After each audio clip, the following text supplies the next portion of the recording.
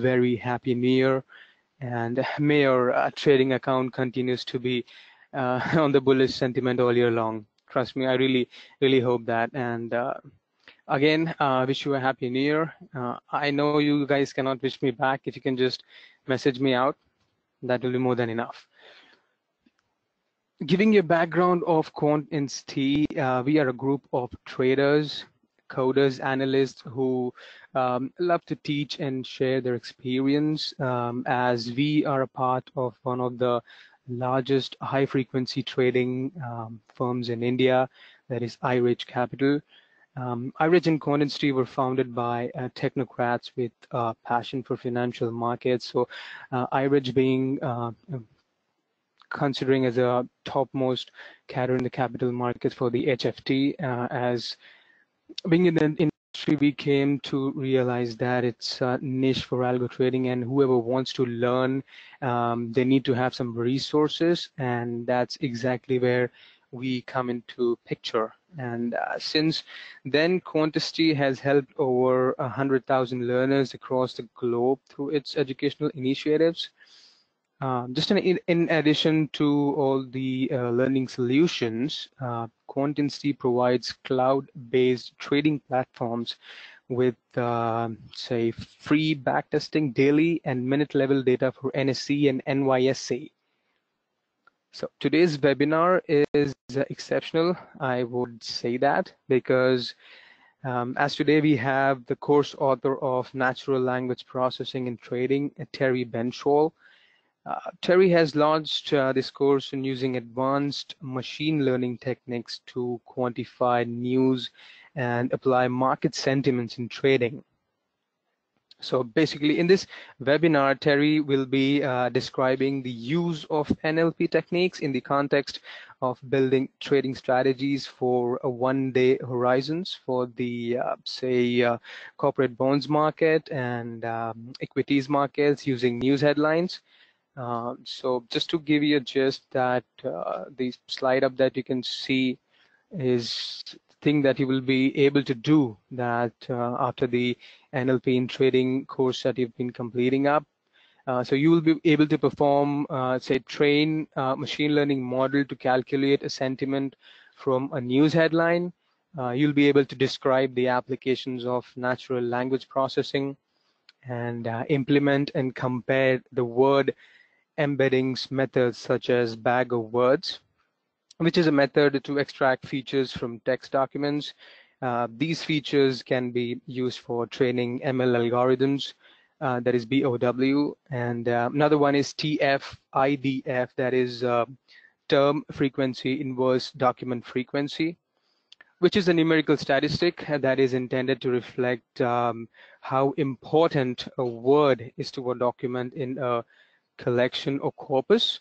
Um, so basically, it's uh, you can see just a scoring measure uh, widely used in information retrieval or say summarization. And uh, Terry will be speaking in detail for TF-IDF as well. Another one is word2vec, uh, which is considered to be the most popular technique to learn word embeddings using shallow uh, neural network. And last but not the least, which is BERT, and again, I'm not speaking about Bert and Ernie over here, it's just Bert. That is uh, bidirectional encoder representations from transformers. In simple and layman terms, uh, layman like me, um, it can be used to help Google better discern the context of words in search of queries. And um, after that, you would be able to predict the stock returns and bond returns from the news headlines and automate the paper trade strategies covered in the course. So I will be uh, sharing you the course link in a chat in a while for your reference. And um, just to welcome our esteemed speakers in today's webinars and thanking them for this uh, extremely great opportunity. Uh, would like to introduce you to uh, Terry Benzschawel who is the founder and principal at Benzschawel Scientific um, LLC. So Terry has worked as a credit strategist with a focus on client-oriented solutions um, across all credit markets.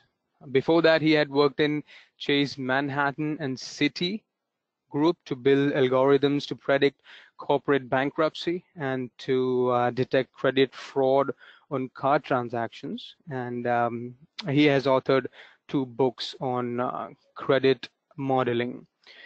Another speaker we have here is Ishan Shah, um, who leads the content and research team at Quantra by QuantInsti.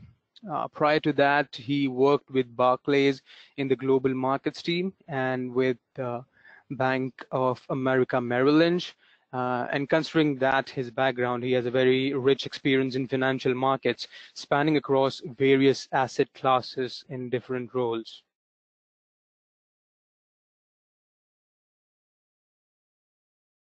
So I will be passing on to uh, Okay, so just a heads up. Um, uh, before getting started, uh, I would um, like to ask you uh, small questions in terms of poll. I've just opened it if you can see. Uh, do you use natural language processing in trading, basically sentim sentimental analysis? If you can just take a poll quickly, it would be a good.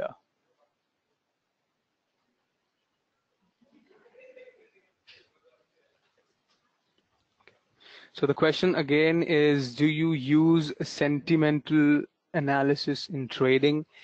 Um, just give us a poll for yes or no. It would be a good uh, up for us.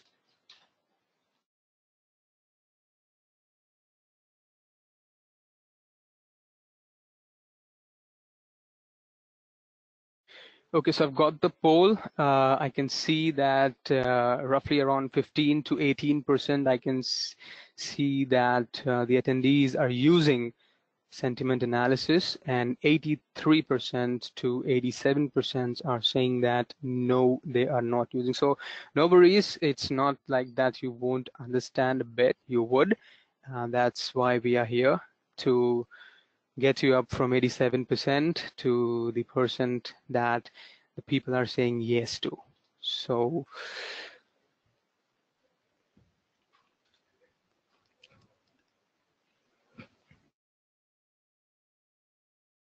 So I have passed on my baton to Terry. Uh, Terry, if you can um, just take things ahead from here, it will be great. Over to you.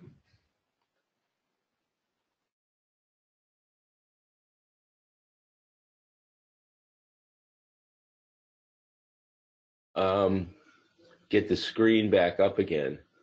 Um, it just disappeared when you gave me permission. Um, yeah. Just a sec, I'll help you out. Okay.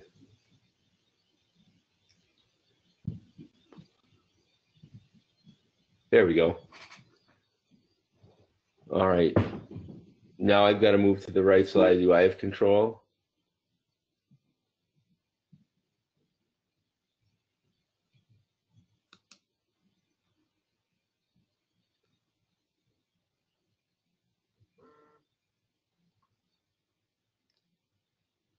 Uh, again, I lost. Um,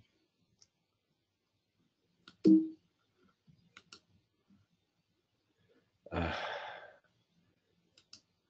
Okay, so, uh, okay, Terry. So what I'll do is uh, I'll keep my screen on, and you can just uh, you know start uh, from there. And whenever you would like to uh, shift the next slide, you can just uh, give me directions, and I'll okay. follow your orders. Sure, that'll work fine. Yeah, because it keeps disappearing. All right. Yeah. Okay, okay, no worries. So just give me just give me a second, guys. I'll be having my screen and. Um, so Terry, can you can you see yes, the agenda? Can. Yes, yes, now it's back. Very you good. can take over from here and just okay. just guide me now the shifting well, slides.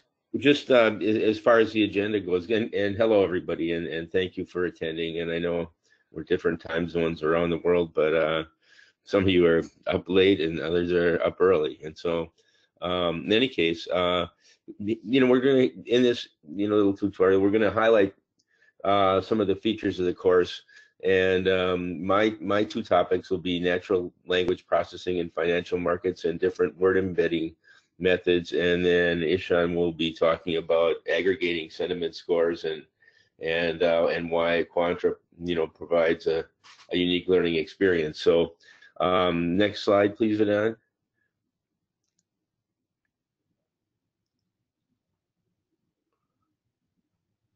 Hello? Yeah, here we go. Yeah, um, okay, so we're, we're going to talk about how, you know, natural language processing is applied in financial markets. I guess at least, you know, 15 to 20% of you are, are, are actually working on this in general, but a lot of people really don't know. And um, basically, what people use natural language processing for in financial markets um, is to gauge sentiment scores, It's to gauge sentiment of um, printed text reports, um, headlines, um, you know, whether a headline, you know, given your interest in, in either a market or a firm, is a headline positive, negative, or neutral? And um, and then when you get these headlines, right, um, you know, um, you sum them up and and say overall is this period that I'm looking at a positive, negative, or or or or neutral sentiment toward my market? And if it's positive, tip, the idea would be to you know to invest in the market. If it's negative, to either go short or not invest, and so forth. Uh, next slide, please.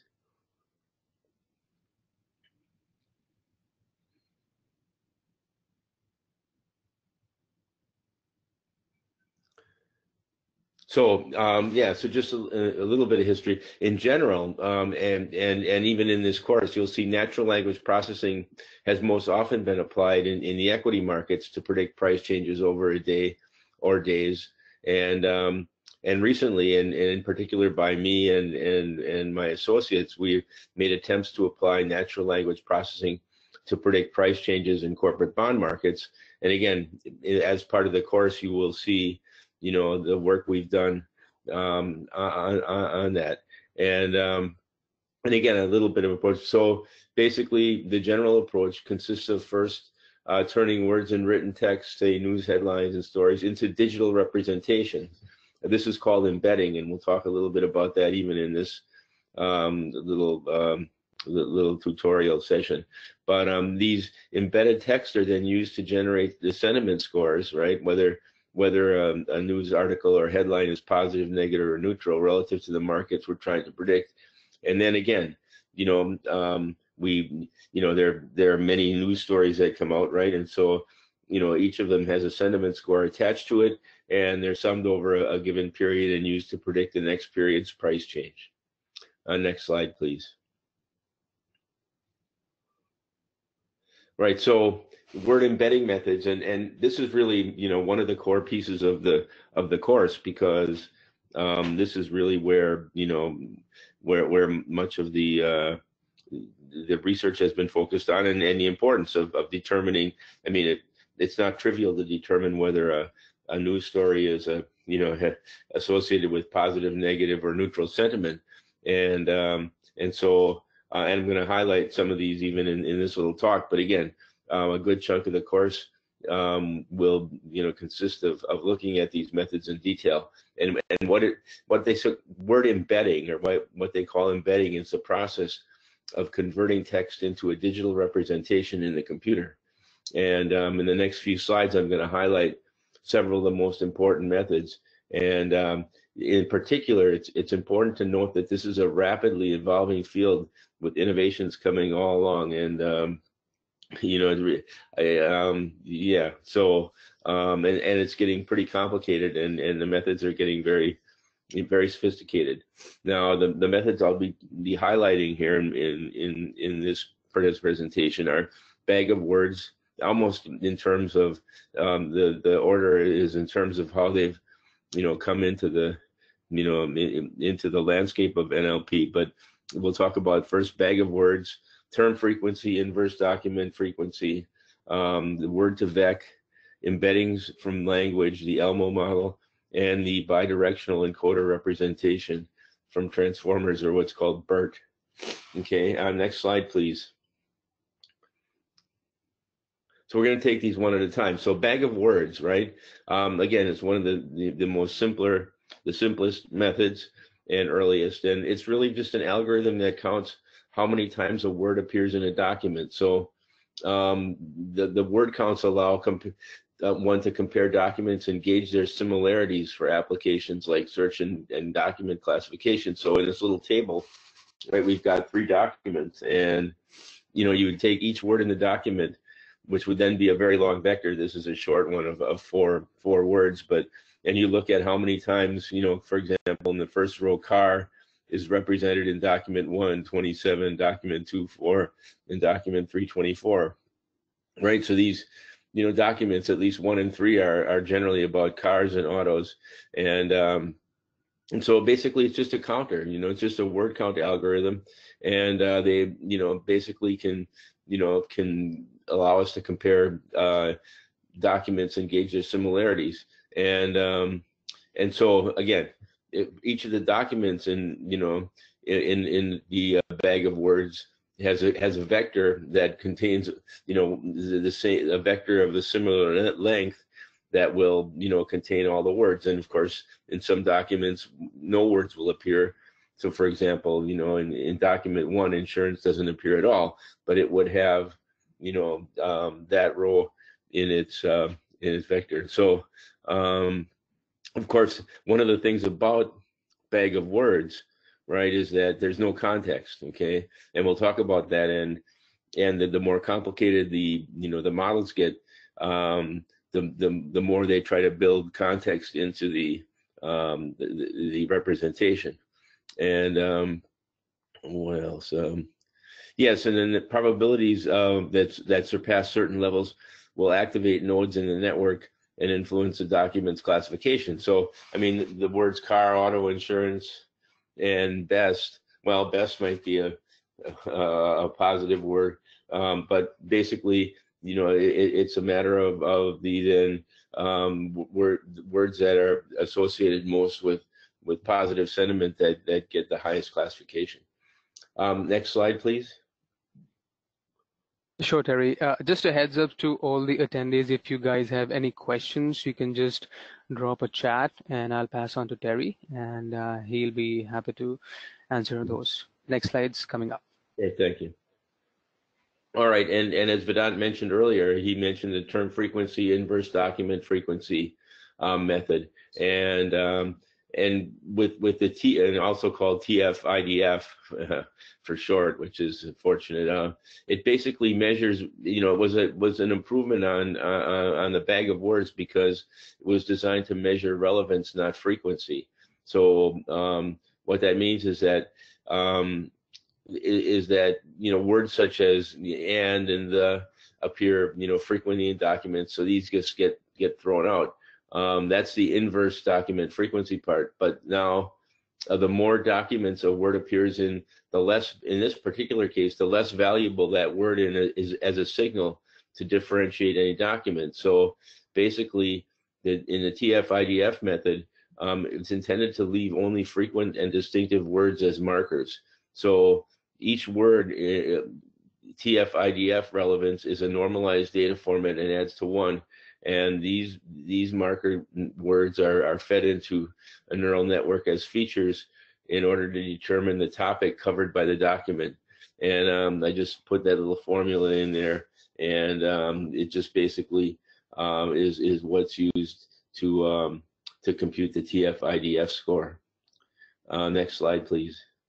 And again, um, you know, we're just summarizing these briefly in this in this little you know a tutorial here, but we consider these in you know in considerable detail in the actual uh, course.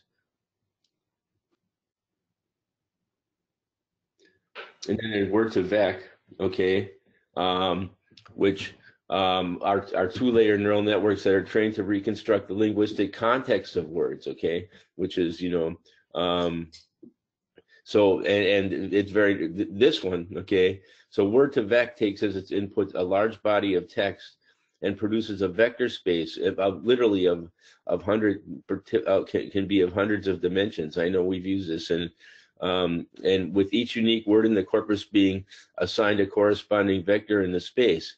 And the nice thing about this is that word vectors are positioned in the space so that words that contain a common context in the in the, the text they they call that corpus. I should probably use that word, but basically the body of text are located in close proximity to one another in the space.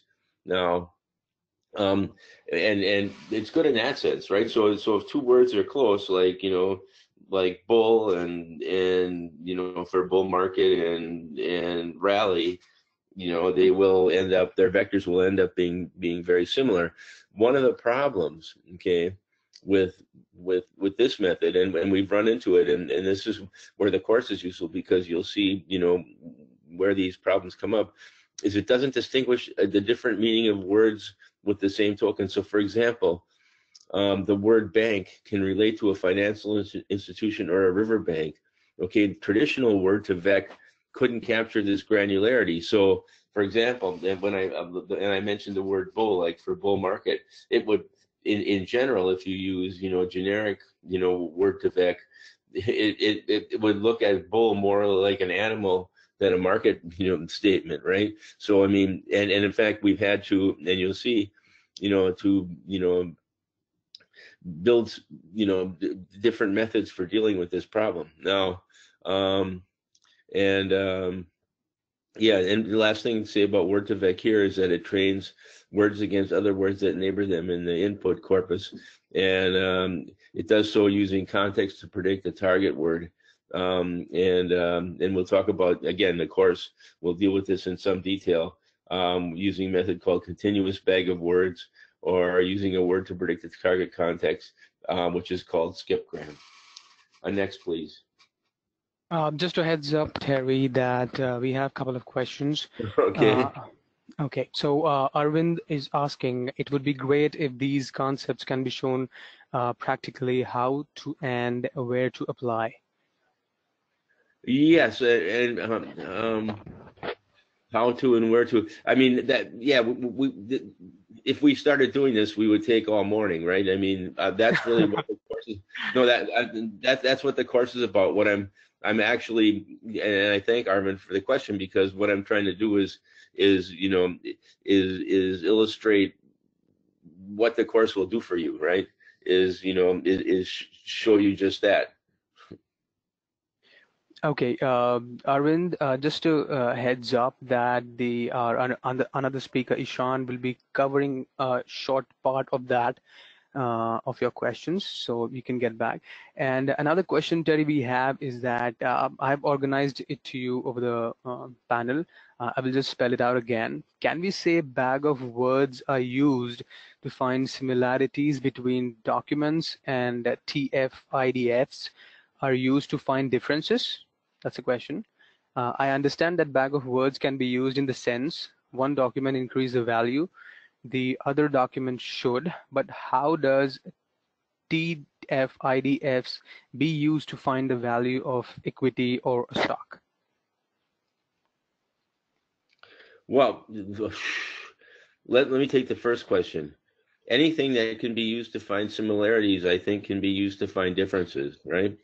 What meaning in the sense that, right? Meaning, so let's let's just say that um, uh, that in the word2vec situation, right? If the same words, you know, if if if there are are many commonality between frequencies of words in various doc in in you know across documents, they're similar. So we had three documents in the bag of words example, right?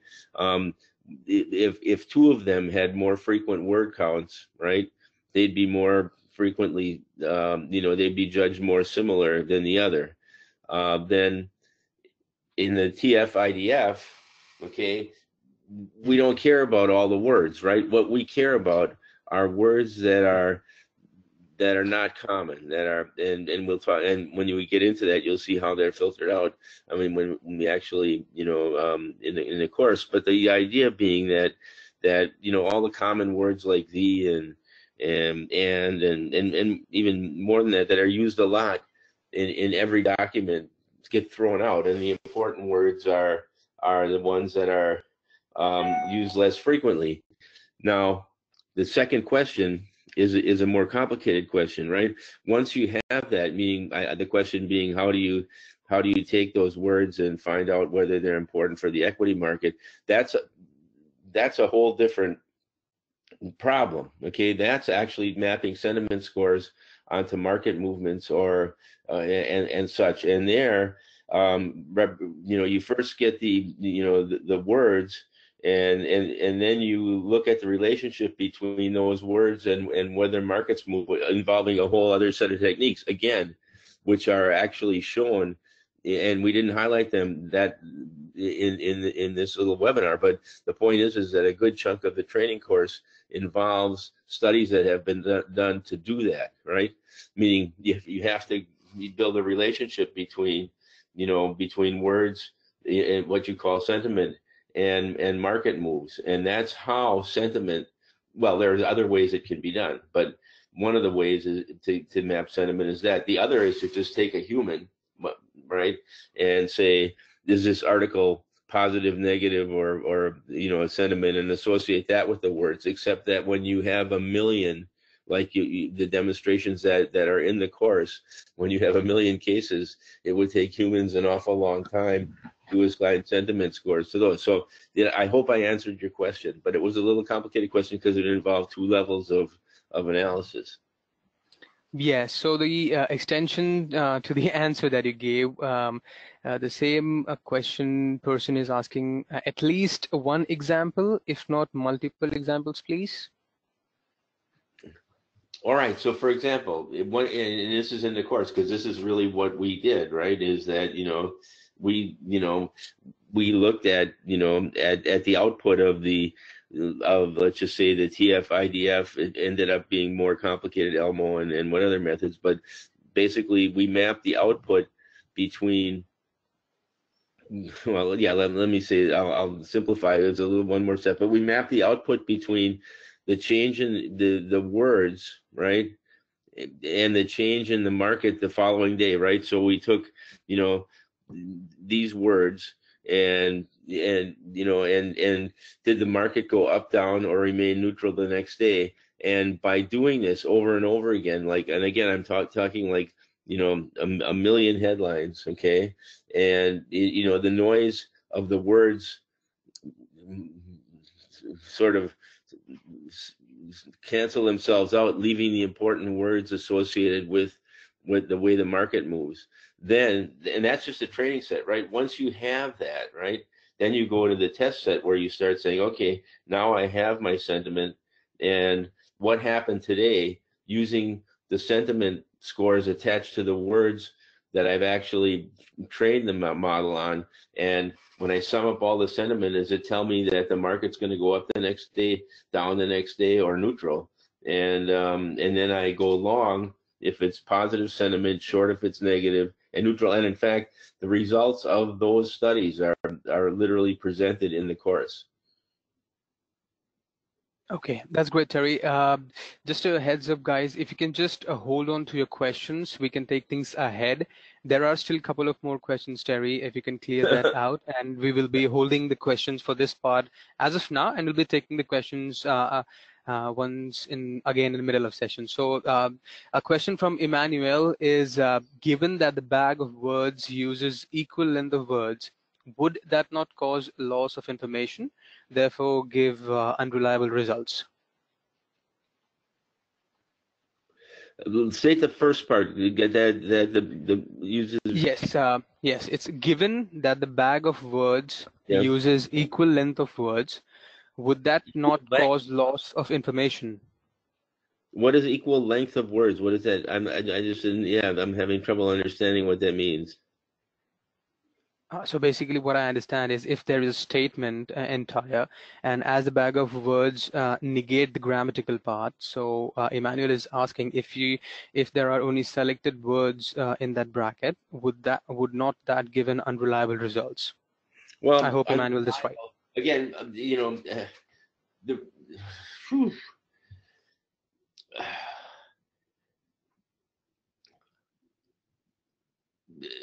bag of words. Well,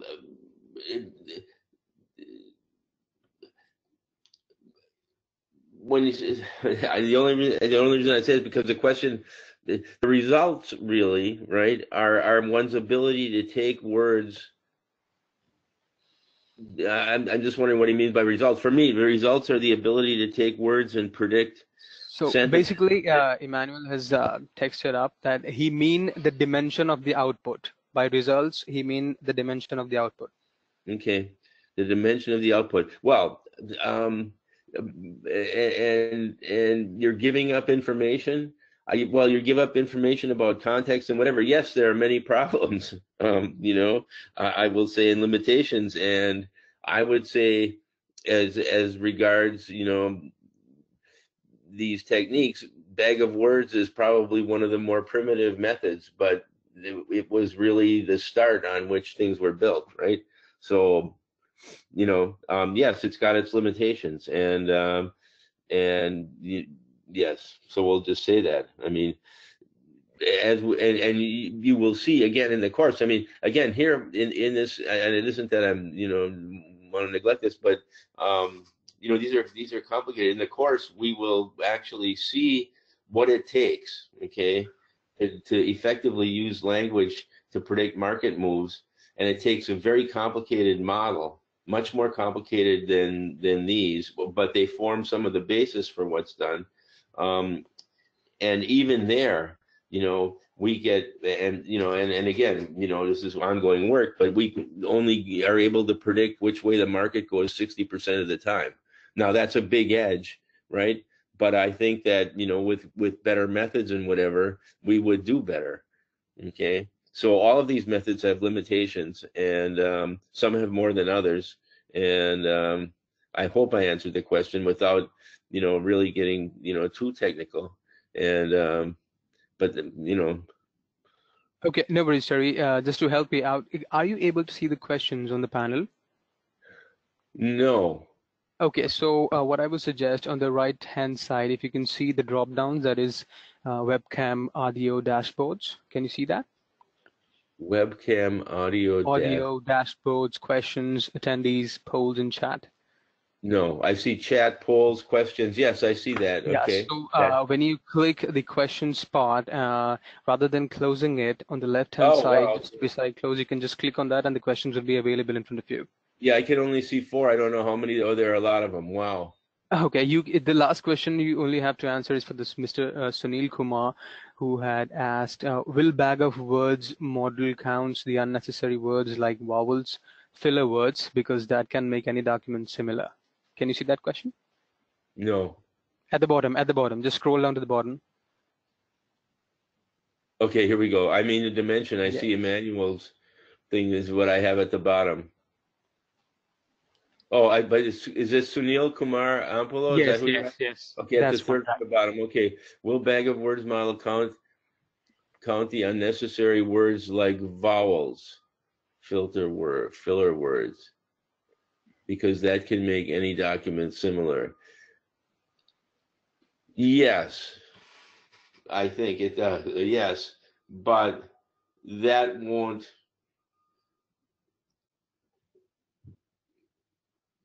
But the, I, but I believe that that that gets normalized out in the sense that that that if you have a bunch of documents and they all have those words, um, and in fact that's what TF-IDF excludes, right? Um, they'll be there, but two documents. Let's just say I have three documents and they all have ands and these and you know whatever, right? And um, they're all going to be similar there, but it's the other words that will make them more similar or less similar, right? I mean, and now,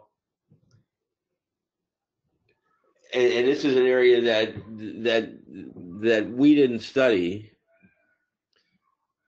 because by the way these methods can be used for a lot of things right? Like the you know one of the things that we we're not going to i hope i don't get too long in this answer but one of the things we're not going to study here in this course is is what is, is the other use of nlp where there are a few more but you know for like the one that comes on your phone when you start typing words and it suggests other words okay um, you know we're trying to take words and assign them to um, to whether something is a positive or negative sentiment. That isn't that's a different application than on your phone, and um, and so um, you know in, in our work, things that are that are very common like that across all documents will end up being irrelevant for predicting um, which way the market is going because they're there all the time.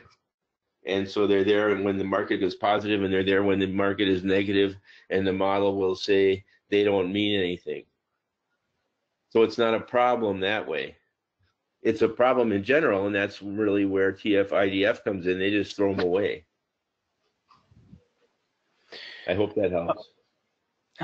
Okay, no worries, Terry. Uh, uh, so guys, we'll be taking questions uh, at the later part of the sessions. Uh, let's continue where Terry left off.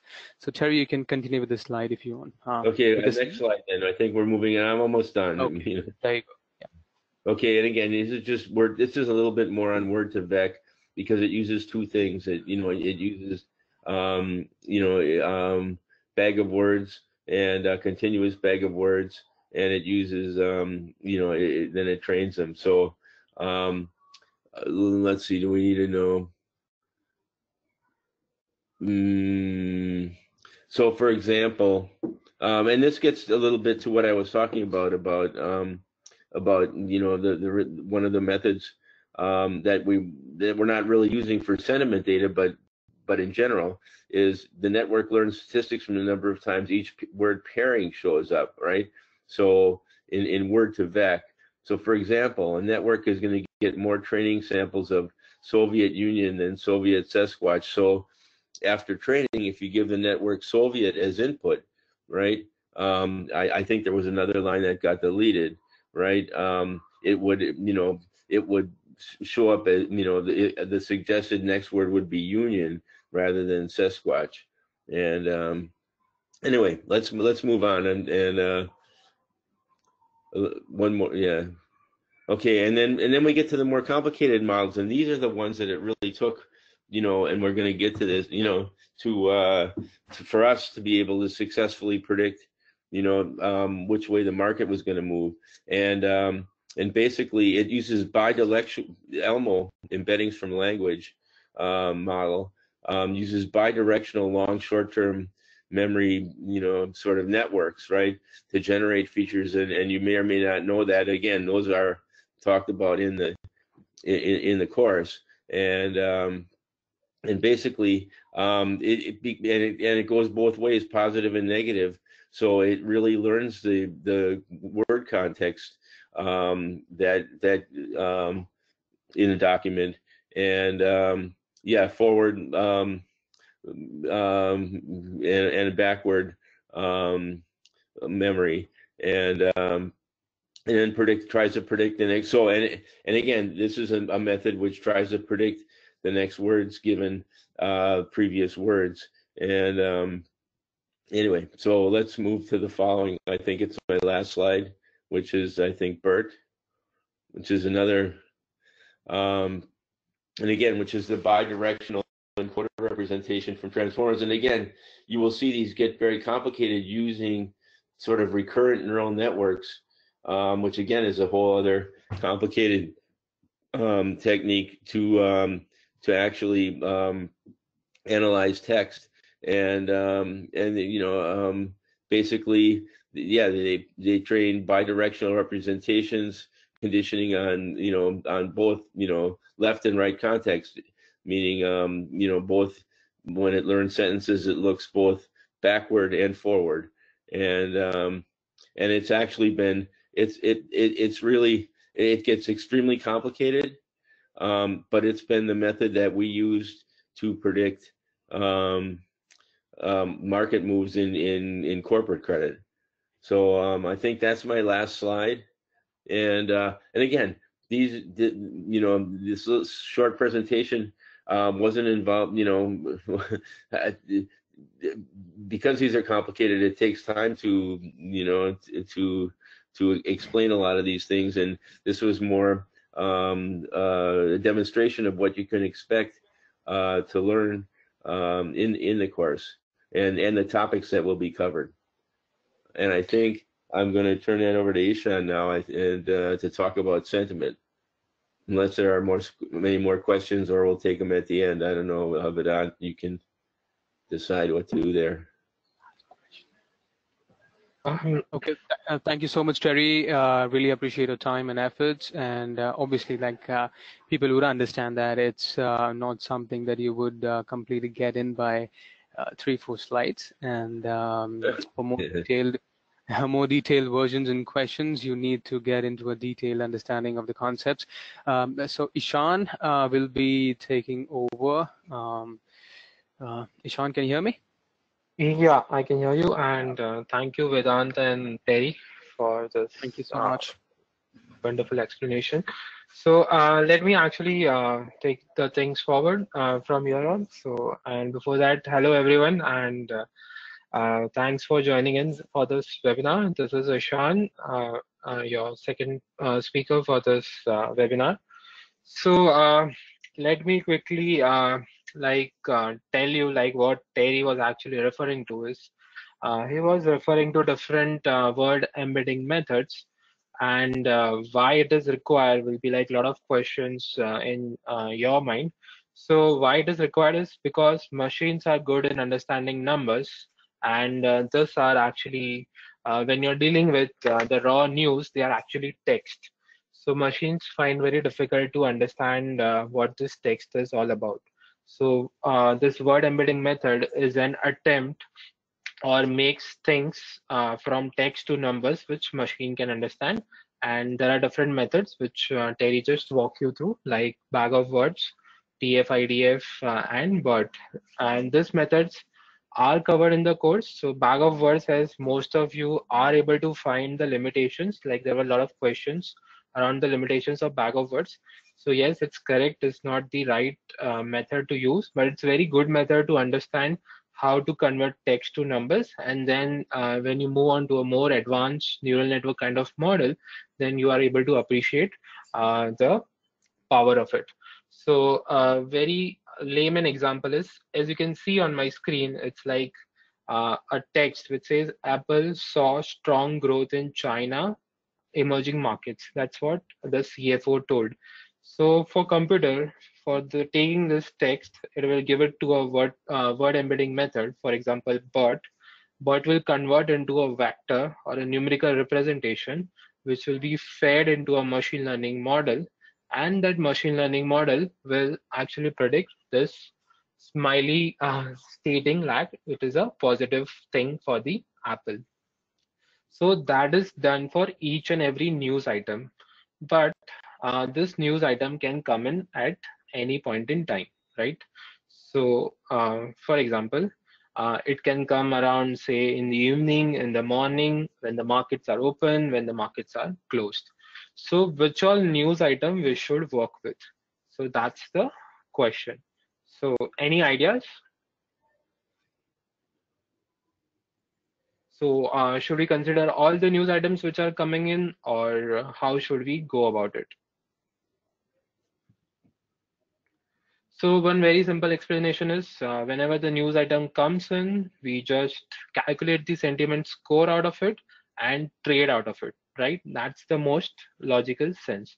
So uh, that is uh, pretty much possible but uh, generally speaking when you're creating a low frequency kind of strategy where you just want to trade uh, in a day and just understand uh, aggregate the news item which are available during the close of the market uh, then this this slide becomes very important so in this what you will do is all the news item which comes during the market close so typically uh, the markets are closed uh, between uh, say 4 p.m. to 9:30 a.m. So U.S. markets typically work between 9:30 a.m. to 4 p.m. So that is the red line which you can see on my screen. So that is the that is the duration uh, where the markets will actually be open.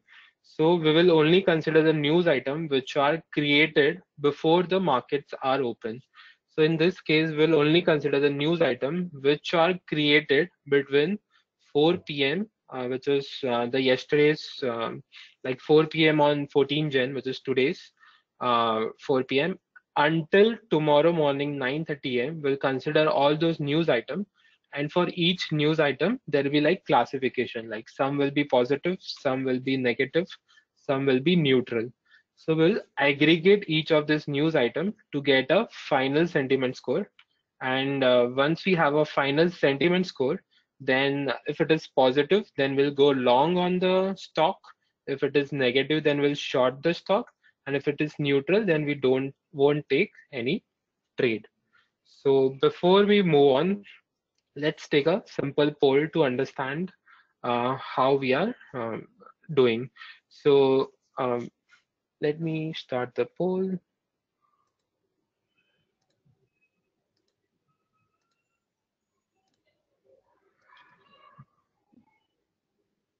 Um, I guess the poll would have been open. So uh, the question is, uh, you have to calculate the correct sentiment class from the below data, which I will be like, what is the sentiment score on 9.30 a.m. on day two?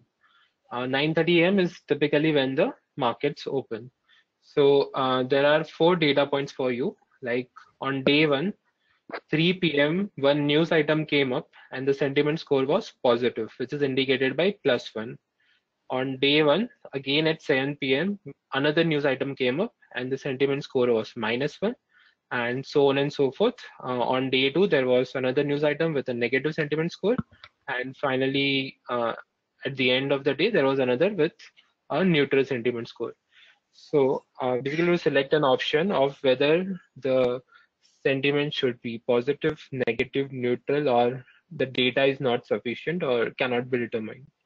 So guys, just uh, a heads up that a poll has been opened and the question has been there. If you can just answer the question and take up the poll, we would uh, have a better understanding of your uh, current acknowledgement. So guys, please take a poll.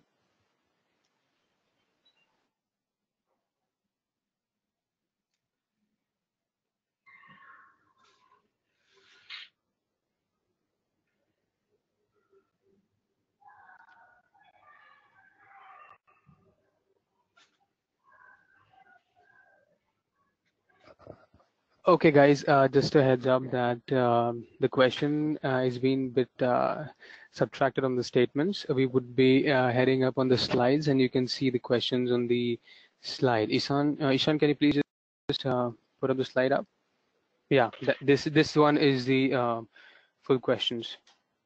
So guys, if you can see this. Yeah, so uh, just to uh, indicate the sentiment class can be either uh, positive, negative, or neutral, which is same as plus one, minus one, or zero. So positive is indicated by plus one, uh, negative is indicated by minus one, and neutral is indicated by zero. And uh, the question is, uh, if you are just at the open of tomorrow on day two, market open, which news item which you'll consider to trade whether you should consider a positive negative or neutral. Or it's the fourth option is cannot be determined. So we've got the polls 17% uh, are saying positive or one 34% saying negative or minus one 29% uh, says neutral or zero 20% uh, says cannot be determined.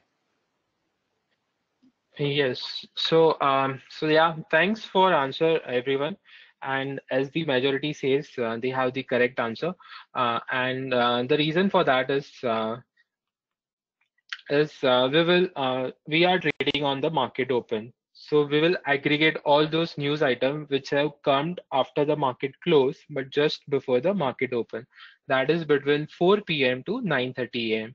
So when you look at the question, it is on day one, which is 7 p.m., which is after the market close this news item which has came up, which is with a sentiment class of minus one, indicating a negative thing. So therefore the answer is negative. Uh, now, many of you would have questioned, why not consider things which have come after market open? So the logic behind that is most of this news item impact would have already been captured in the market and therefore no point in calculating or aggregating those news items. So all these red lines are the times when the markets are open and therefore we are not considering that assuming impact of those news item are already factored in and will only fact work with the news item whose impact is not factored in and that is during the market close. Now let us see how we can actually do this in Python. So for that, um, we will go to this uh, course, which is Quantra dot. Uh, you can all go to this course, uh, this uh, web page, which is quantra.quantinsti.com, and let me also share it with all of you. Yeah, if you can do that, I was just about to do that. Thanks, Ishan. Okay, all right. So uh, I would encourage all of you to actually practice along with me so that uh, we are able to implement the concept which we just learned on in Python. So, so uh, once you follow the link, uh, you will come across this page. Uh, if you already have an account, you can log in or you can click on sign up and uh, you can either use your social media accounts to log in or you can just uh, fill out this details to sign up. So since I already have a Google account, I'll just use that.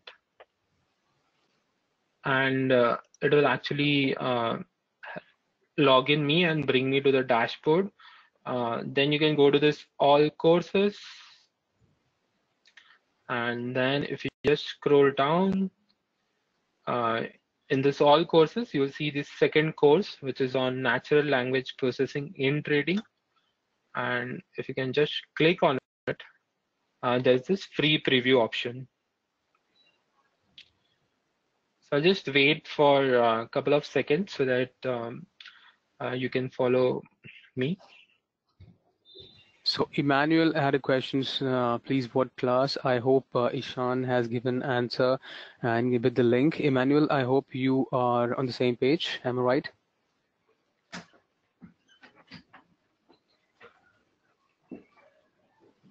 Oh, yes, Emmanuel is Okay. with us.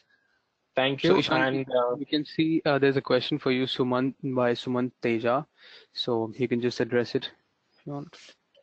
Yeah, sure. Uh, so Sumant, thanks for your question. Uh, Sumant says in markets there'll be rumors on many days.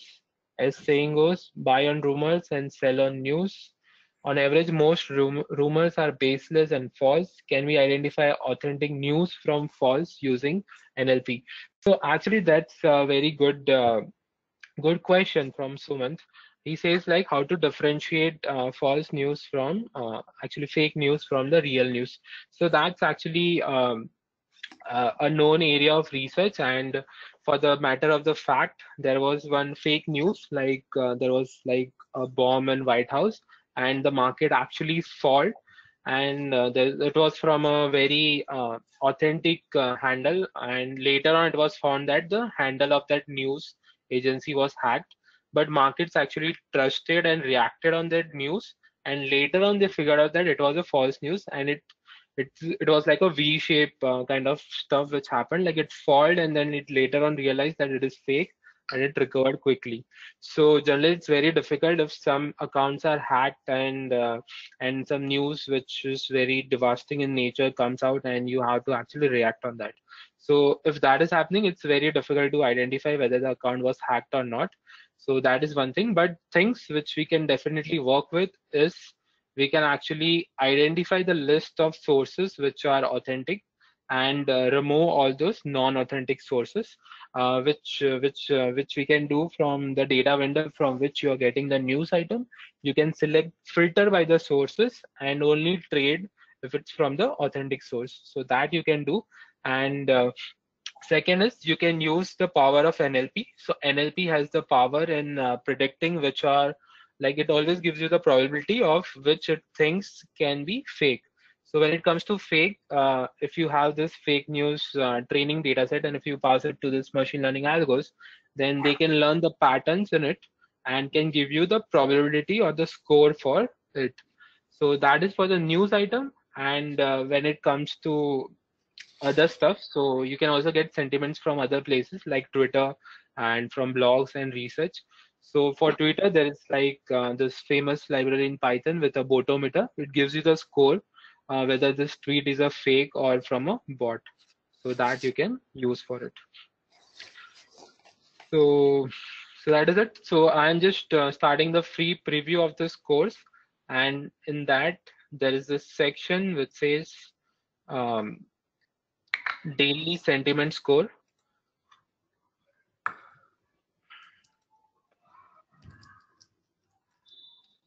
So uh, in this daily sentiment score, which is section 4, unit 5, uh, there is this notebook which says how to calculate daily sentiment score.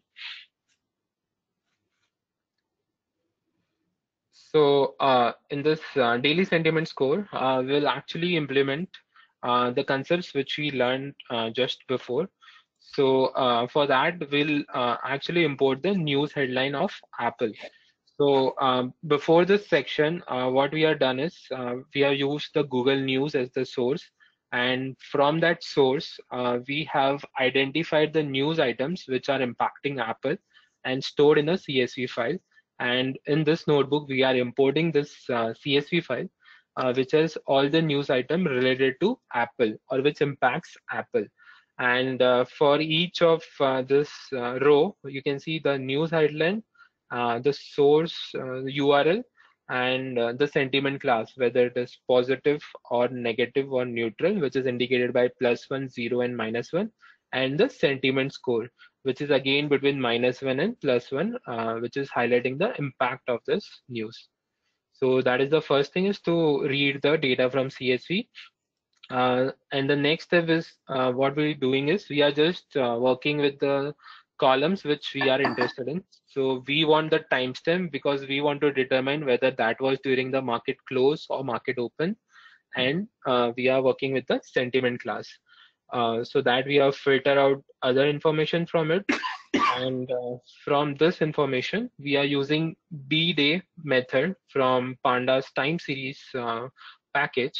And what this business day will do is uh, it will tell me, uh, so using business day, I will be able to figure out uh, whether, um, sorry, before that, what I'll do is I'll actually find whether the news is between 9.30 to 4.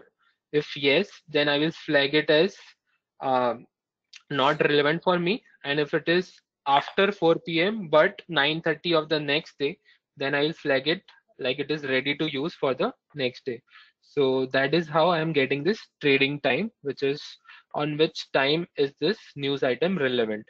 So that is the trading time. And for there will be like many news headline which will be relevant for a particular trading time, which I will aggregate it. So if there are three news items, then I will take a mean of that and that score will be stored here. So as you can see for each day, now I have a score for it. And this score will actually become my uh, decision point. So if the overall score is positive, I will go long on Apple stock. If overall score is negative, I'll go short on it. And if it is zero, then I will be neutral. Uh, a variant of this is you can uh, uh, you can define the thresholds. So here I have plotted the uh, variation in the scores, uh, daily variation of the score. So it ranges between minus one and plus one. So uh, what you can do is uh, rather than having this zero thing, you can have some thresholds. So for example, if it is less than minus 0.5, that is the place where you can go short on the stock. And if it is greater than 0.5, then you can go long on the stock. And for all other data points, you just don't trade. So you can have those kind of refinements uh, to your trading strategy. So, so that is uh, it from my side of how you can create a trading strategy. And uh, before I move on to take uh, the questions uh, from the participants, like I and Terry will be happy to take the questions. Uh, let me quickly summarize uh, the learnings from this webinar. So from this webinar, from this webinar, what we learned is there are this raw news item which needs to be fed to a word embedding method, um, such as bag of words, TF, IDF, but which will convert this text to number, which will be then fed to a machine learning model, which will give us the sentiment class as the output. So whether this news item is positive, negative, or neutral. So for each of this news item, we have to first identify which one are relevant for us and which one are not relevant for us. Uh, so the news item which appear during the market close are relevant for us. And for all those news item we'll aggregate the sentiment class. So we'll get a final score for it.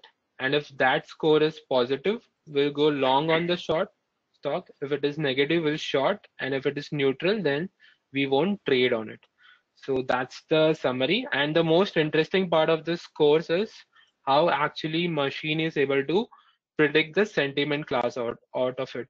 So most of you found this easy to map this to a positive sentiment score, but will machine find this as easy as you guys to classify this to a positive score?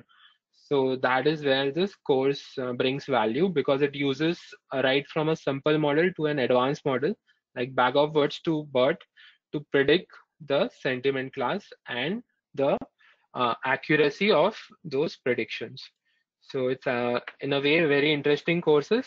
And apart from the uh, learnings, how Quantra will help you is uh, you need not install anything. All these things codes are available right in the platform as uh, most of you would have actually uh, run this on the fly with me. So for example, you can change this on fly and you will see the results change uh, here itself. You need not install any specific Python environment in your local machine. Uh, this can run within Quantra itself. And uh, there are these interactive videos uh, which will actually teach you these concepts. So for example, uh, in this, uh, we'll use proper animations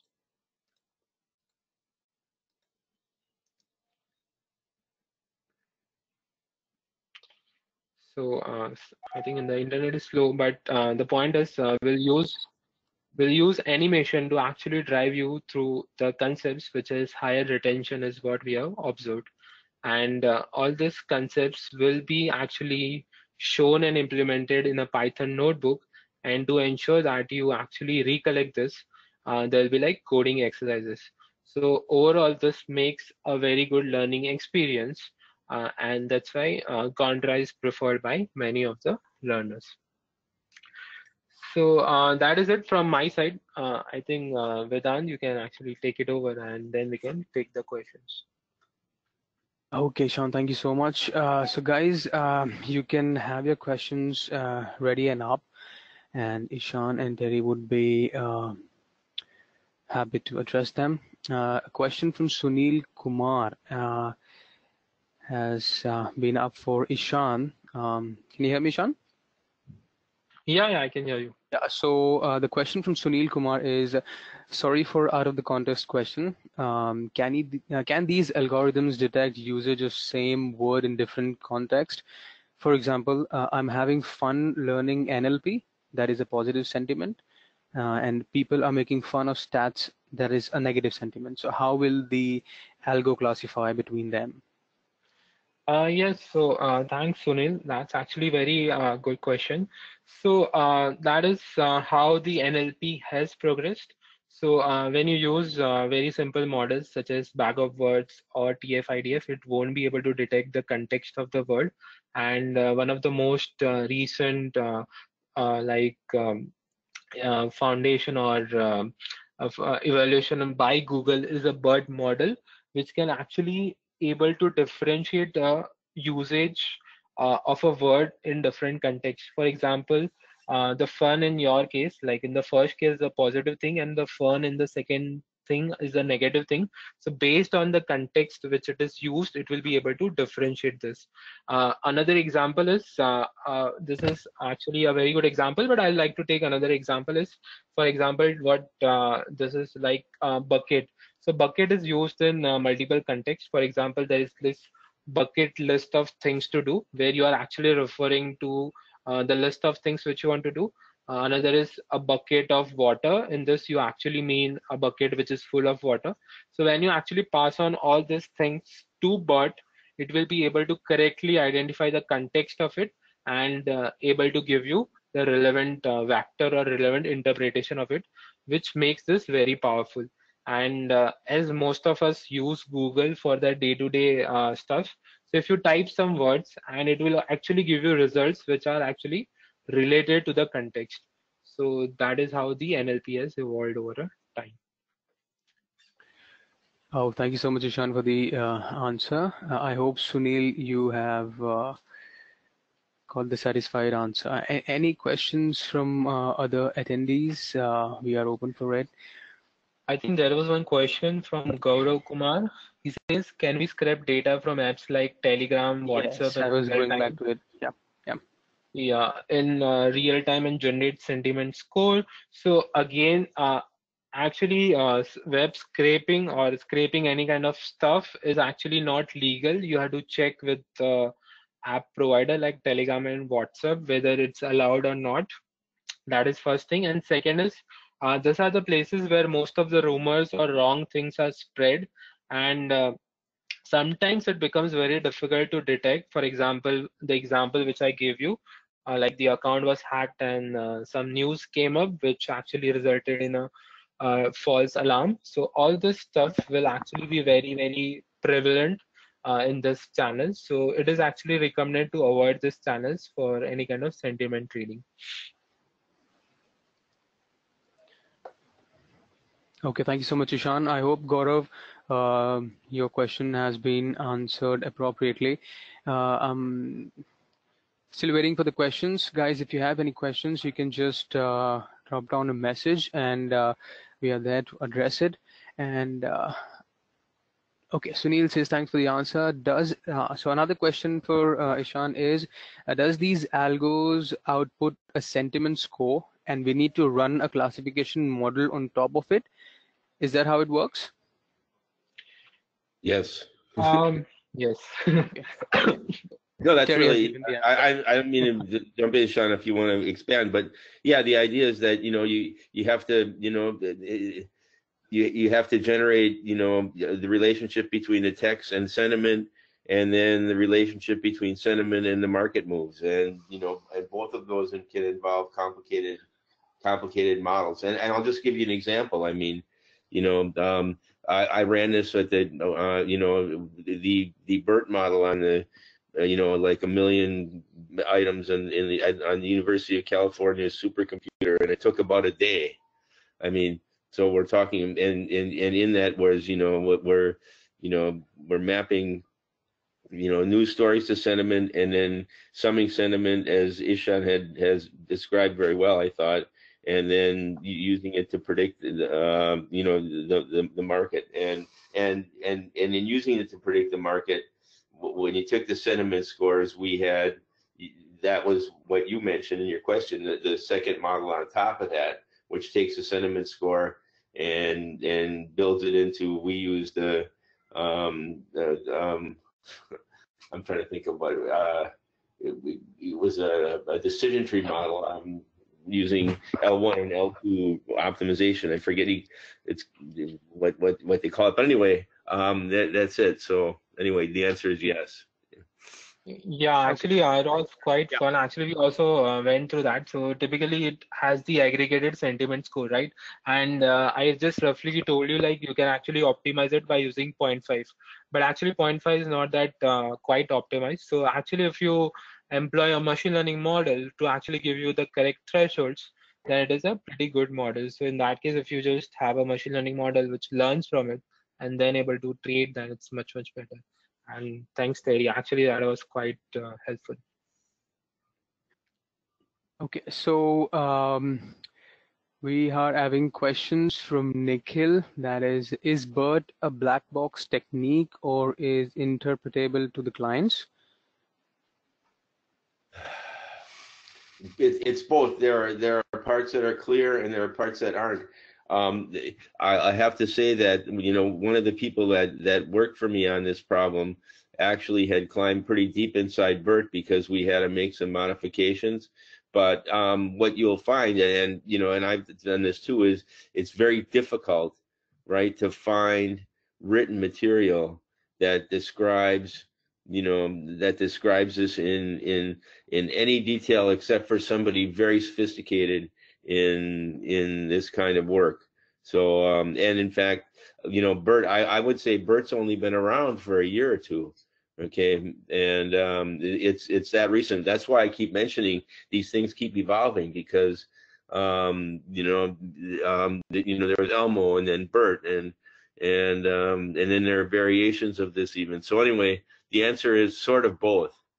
Um, okay, and um, and I think I think the only real way you, you'll you really understand this, and it's really puts you at a level of depth beyond my understanding as well, is if you're actually implementing this and and seeing what happens. I mean, there are I think 13 layers of this BERT model architecture in the neural network, and I know we modified level 11 to take advantage of of uh, domain specific knowledge, right? Meaning, and and that and that's the other key, right? Is that you know is that the generic BERT it just learns generic things about language and doesn't know it's working in a financial context. So you have to.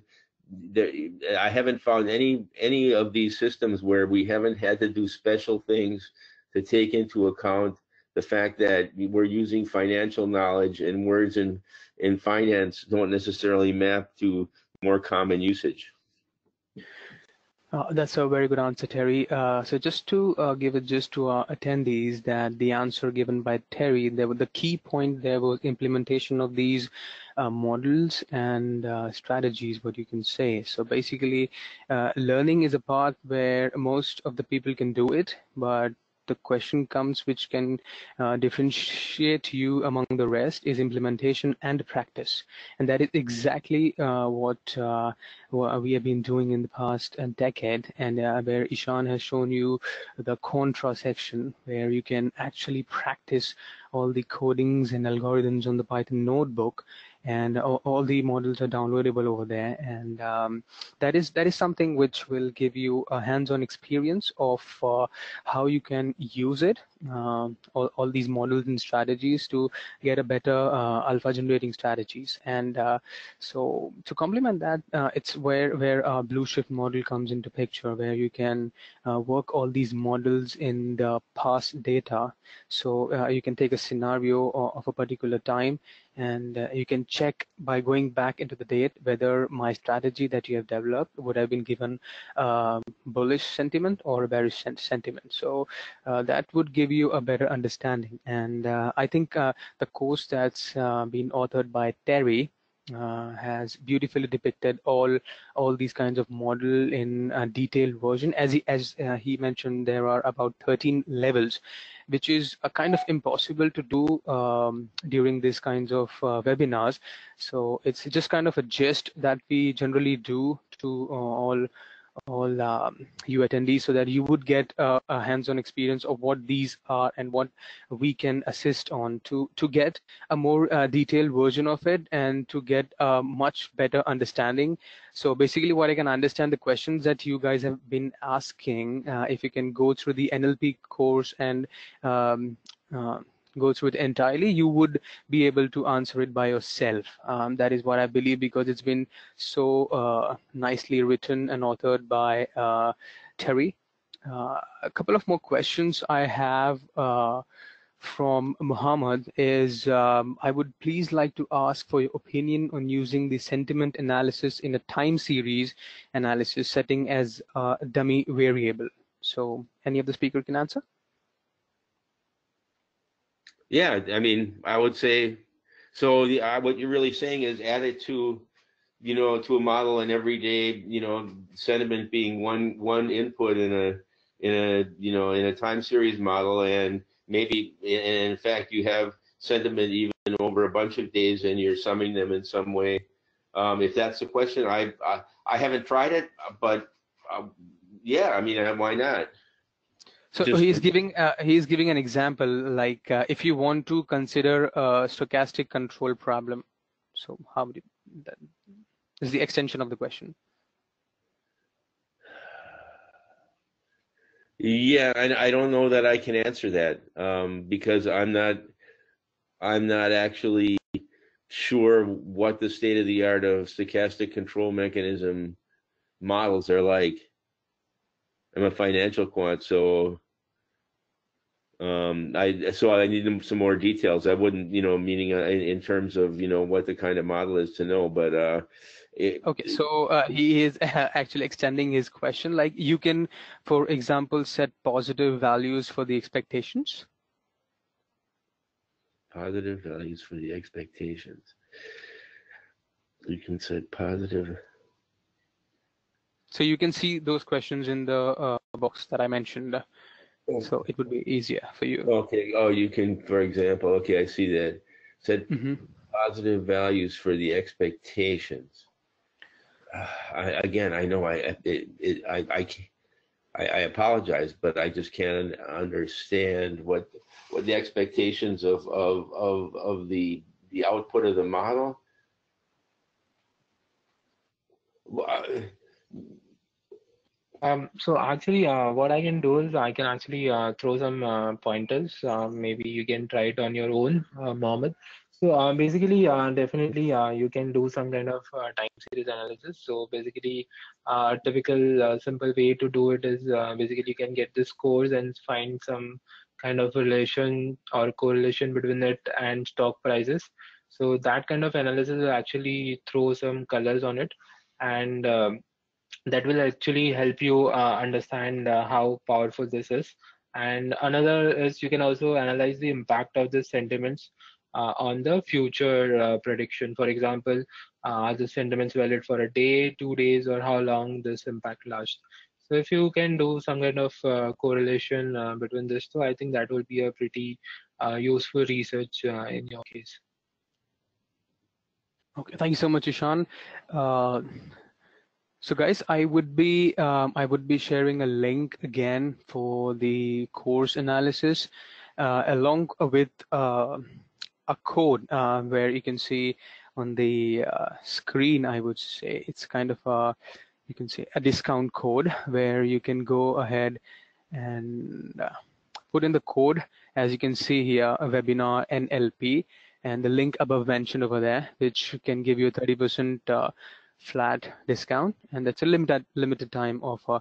So just to uh, run you through again that um, what you would be able to do if you go through this course which is uh, say eight hours advanced level. And the best part of this course is that um, you don't have any time uh, foundation for it. It's it's completely on you. Whenever you get a time you can just log in learn and basically evolve and adapt and overcome. That's what a quote says right guys? So um, again if you see uh, the model that you would be able to do is train a machine learning model to calculate a sentiment from a news headline uh, and uh, you would be able to describe the applications of uh, natural language processing and the four models that we um, have gone through here bag of words uh, tf-idf uh, word to vector and BERT. So uh, uh, after doing this course you would be getting an hands-on experience to predict the stock returns and bond returns from the news headlines and you would be able to automate and paper trade the strategies which would be covered in the course um, Ashwin, as per your question, when do we receive the certificate? Uh, it's uh, answered above that it will be sent to you uh, over an email. So uh, I think by tomorrow you should receive it. And um, anybody have any other questions, you can just uh, let us know. We are there.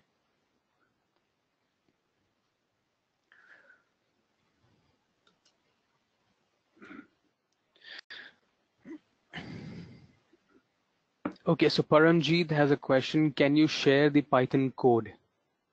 Nishan? Can you, Uh, yeah, so um, yeah, sure, Paramjit. So uh, for that, uh, you can um, just share the link uh, with everyone, and uh, I think uh, if you follow the link, uh, you will get uh, that code. So I'm just sending it to all. So uh, if you follow this link, uh, you will be asked for a login if you are not already logged in. Uh, otherwise, you will be straight away taken to the course, uh, to the notebook. Okay, so Roshan has a question again, as he had asked above, and uh, I'm sorry, Roshan, I just missed it out on that part. Uh, it's a question to both of you, Ishan and Terry. Any recommendations on books for NLP? If you can, yeah. Hmm. Ah, Um, thinking- what I Yeah, go ahead. go ahead. Yeah, you go ahead first. Well, um, I haven't found any books read front to back. I'm trying to, uh, I mean, there are a number of books I've gotten and, and I haven't read any, um, you know, um, from front to back. I mean, for Python, right, I've gotten, you know, Python machine learning and, and I've, and I've taken, you know, pieces out of a few books. Um, I'm trying to, I'm looking at my library right now, trying to, you know, look at, at the ones I bought. But the point is, um, uh, in, in, and I, I haven't seen the course material, but I have prepared a, a, a, a lengthy list of articles. Most of the things that I've learned have come from reading the articles and the articles that are cited um, in the uh, in the material that that I at least have provided um, uh, uh, to QuantInsti, and um, I'm, and I would hope uh, would be made available. But uh, anyway, but but in terms of just reading a book and um, and and learning, um, yeah, I don't have anything I really would recommend, but um, maybe uh, Ishan has a has one. I sort of just learned hands-on and and so and again, t- but I, you know, and and using books for more for reference than for um, than than than to read through and and and and understand. I don't think. Well, anyway, I'll leave it at that. Sean? Yeah. So uh, actually, uh, there are some like old books like uh, NLP uh, Essential Guide and uh, other stuff, but uh, actually I didn't found the books to be that useful because it was more uh, theoretical in nature and uh, lacking the practical parts of it. So actually, uh, I will just say that you have come to a right place. Uh, and uh, rather than books, I think a course like this is actually uh, not only teaches you about the theoretical part but also shows you the implementation uh, which is uh, much uh, much better way of learning these things uh, so that is one part of this answer. And second is uh, from where actually i learned all this stuff is i actually found this uh, ai.google blogs to be very relevant. It actually showcases all their uh, cutting edge models uh, on their this blogs place. And uh, another place which you can look out for material is on the research side. So there are a lot of research papers which are published around this. And that also becomes a good source of learning so what i would recommend is uh, you can do this course get a basic understanding of nlp and to build on top of it as a part of continuous learning you can actually follow this uh, top google ai blogs and other uh, research platforms Okay, Ishan. Uh, okay. Yeah, Terry, please go ahead. Well, just yeah, and just to add, you know, um, you know, what occurs to me, you know, also, and I mean, I thought about this, is that I think people try to keep a lot of this secret, right? When they actually. No, I'm serious. You know, meaning that's why it's very difficult, you know, to to to actually find thing, you know, good explanations even on the web. And when I don't understand something, I'm usually you know try to you know see what's available and, and it's oftentimes very hard to get a hold of the you know of information that really tells you you know that that's where you know a practical course like this where you get your hands dirty with this stuff teaches you more than anything because people won't tell you you know That's exactly the point, Terry. You know, practice makes a man perfect, as as the saying has been going for long decades, and uh, this exactly what uh, uh, the course provides you. Uh, the more you practice, the more money you can make. Uh, so with the access, once you granted, it's a lifetime access. You can uh, come down to this portal whenever you want. You can learn things, and um, you can you can get your hands dirty, as said by Terry. I, I completely agree with him. Um, I have a question from Paramjit again. Uh, from which source you're getting market data or which news sources? And continuing the so- question, uh, just a continuation of the question, as of Indian market, which standard data source we can use? Uh, okay, uh, so Paranjit, um, actually, uh, there are like a lot of players which can from which you can get the news data. So one of them is Thom- Thomson Reuters, and uh, definitely it's on a higher side. Uh, uh, they charge you. Another way is actually you can actually source this news data from News API or Webhose, which provides you the live um, uh, live recent uh, news item, uh, which you can use uh, to get the news data. Okay, so we have uh, a question from Sunil Kumar, which he mentioned above. Uh,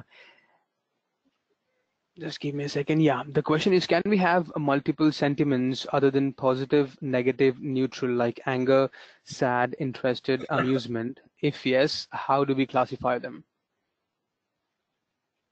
Okay, I don't know, Dishan, you want to take that? I can. I, I will say first of all, yes.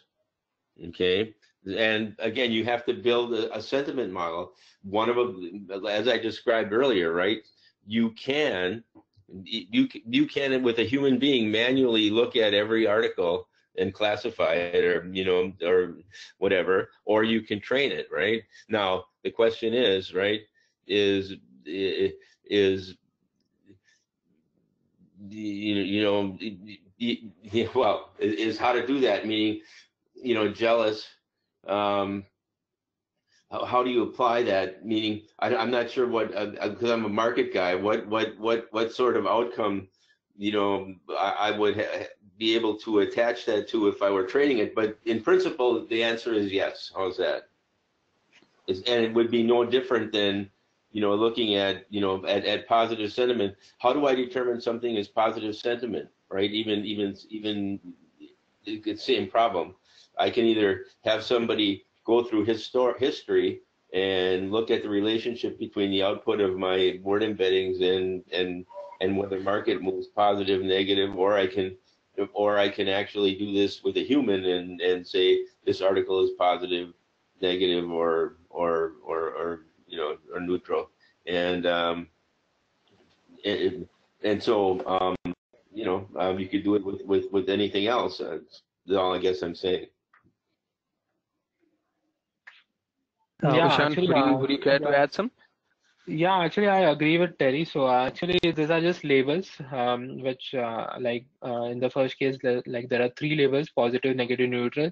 Uh, in the second case, there are like many labels, like anger, sad, uh, like uh, in I think uh, amusement and other stuff. So uh, typically, uh, this are possible. It's how you actually structure your uh, training data set. If you have this uh, labels to each of the news item and train your model on it, uh, definitely it will be able to predict this news sentiments for you.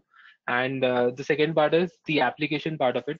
So typically, again, this this is again an area of research. So you have to find the correlation between say anger and the stock price uh, movement.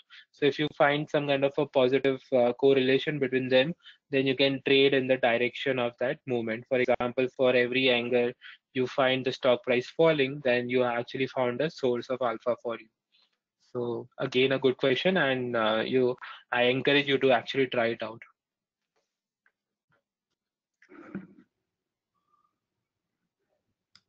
Uh, so Ishan, if you can see, Paramjit has extended his question. Uh, uh, can you have a look to the question? Or yeah, sure. So um, yeah. I'll just read it for everyone's benefit uh, yeah. on this uh, webinar. So uh, the first question, actually there are two questions from Paramjit. first question is, practically speaking, getting the quality data is almost impossible as once you automate trade in such setup, courses are okay as it takes standard clean data, but real world practical application is in very native stage, plus how to trade sentiment score uh, to delta in stock price. So uh, thank you, Paramjit. It's actually a pretty uh, relevant question. So uh, since I think Vedant, you're actually sharing your screen. So can you open this financial data science course uh, page on your um, on your screen? Okay, just give me a second. So if you want, you can take up the screen. So you would be better. Um, yeah, actually, let me do that. Yeah, so you can, you would be better on uh, guiding up. Yeah, uh, I think you have to stop sharing, then only I can take the screen.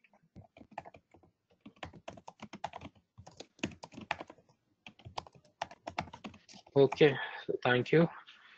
Um,